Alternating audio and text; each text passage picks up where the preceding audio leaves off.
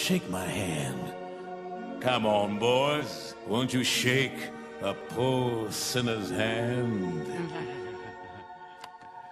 Yeah.